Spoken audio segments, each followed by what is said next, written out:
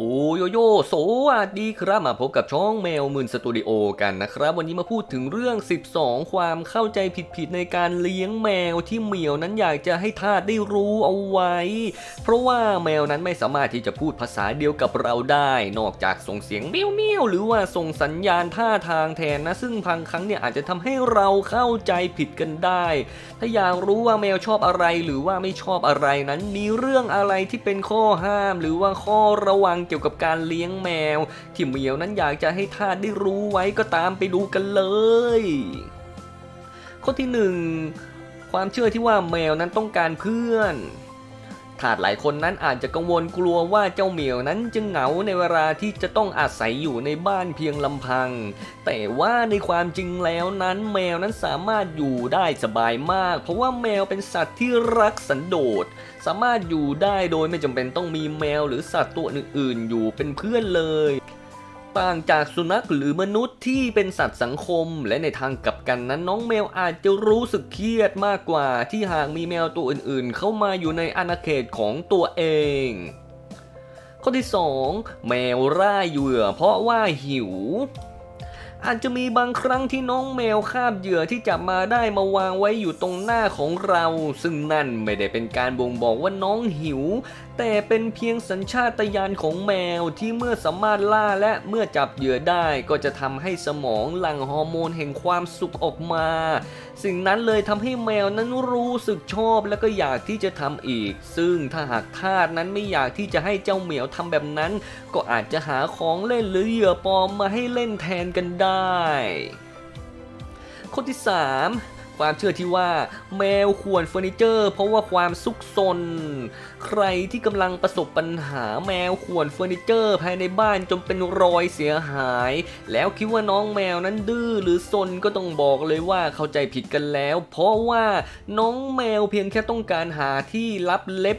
คมๆนั้นรวมทั้งสร้างอาณาเขตของตัวเองก็เท่านั้นเอง ถ้าหากอยากแก้ปัญหานี้ก็ต้องลองซื้อที่รับเล็บแมวมาวางไว้ในบ้านให้น้องแมวนั้นรับคมที่เล็บแทนนะ ข้อที่ 4 แมวนั้นชอบกินอาหารกับน้ำในที่เดียวกัน เนื่องจากว่าแมวนั้นเป็นสัตว์ที่ค่อนข้างรักสะอาด พวกมันจึงไม่ค่อยชอบหากมีเศษอาหารปนเปื้อนอยู่ในน้ำ เพราะฉะนั้นแล้วจึงควรวางชามข้าวกับน้ำนั้นให้อยู่ให้ห่างออกจากกัน นอกจากนี้ก็ควรวางให้ห่างจากทรายแมวหรือห้องน้ำแมวด้วยนะจ๊ะข้อที่ 5 ความเชื่อที่ว่า แมวโอเคที่จะใช้ของร่วมกับแมวตัวอื่น จริงๆแล้วนั้นถ้าหากเราเลี้ยงแมวในบ้านมากกว่าหนึ่งตัว ก็ควรจะมีของแยกไว้ให้สำหรับน้องแมวแต่ละตัวด้วย ทั้งชามข้าวน้ำหรือว่าทรายแมวที่รับเล็บที่นอน เพื่อป้องกันไม่ให้แมวทะเลาะกัน เพราะว่าแมวนั้นจะไม่ชอบใช้ของพวกนี้ร่วมกับแมวตัวอื่นๆนั่นเอง ข้อที่ 6 ความเชื่อที่ว่าแมวอยากให้ปลอบเมื่อรู้สึกกลัว จากสัญชาตญาณของมนุษย์นั้นทำให้ทาสมักเข้าใจว่าเมื่อมีแมวรู้สึกกลัว รู้สึกเครียด ก็น่าจะต้องการถูกปลอบ แต่ความจริงนั้นไม่ใช่ เพราะว่าในช่วงเวลาแบบนี้นั้นน้องแมวจะต้องการหลบอยู่เงียบๆตามลำพังเพื่อให้รู้สึกปลอดภัย แต่หากทาสเข้าไปแสดงความสนใจมากเกินไป ก็อาจจะทำให้น้องแมวนั้นรู้สึกอึดอัดได้ ถ้าอย่างนั้นก็ควรจะปล่อยออกไปสักพักเบื่อโอเคขึ้น ก็อาจจะออกมาคลอเคลียกับทาสเองนั่นแหละข้อที่ 7 ความเชื่อที่ว่าแมวต้องการที่นอนเพียงที่เดียว หากพวกเราลองสังเกตดีๆ แล้วจะเห็นว่าเจ้าเหมียวมักชอบงีบหลับตามจุดต่างๆ ในบ้าน เช่น บนเก้าอี้บนเครื่องซักผ้าหรือในลังกระดาษ